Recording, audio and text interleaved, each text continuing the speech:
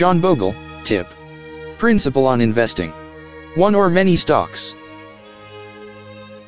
Don't look for the needle in the haystack. Just buy the haystack.